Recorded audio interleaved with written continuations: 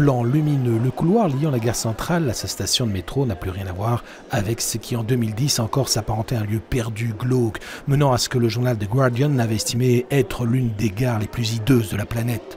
Ces 130 mètres de couloir parcourus par quelques 100 000 navetteurs par jour ont bénéficié d'un budget de rénovation Belliris d'un million six. C'est le bureau d'architecture Metzger et Associés qui a géré le projet de rafraîchissement. Le sol en mosaïque a été restauré, les lampes d'éclairage remplacées de manière à imiter la lumière du jour, les murs recouverts de panneaux en émail résistant au vandalisme. Une rénovation unanimement appréciée. Oui, c'est beau, hein c'est très beau. Euh, j'aime bien ça. Euh, j'espère qu'on laisse les murs comme ça Absolument magnifique.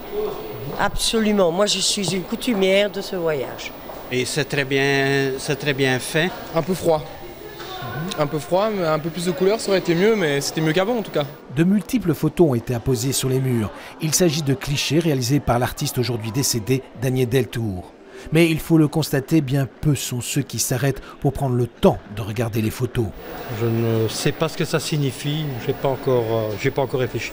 La fois prochaine, je, je partirai plus tôt pour les voir. Un bémol pourtant à la rénovation, à l'extrémité du couloir, la station de métro offre toujours un bien triste visage.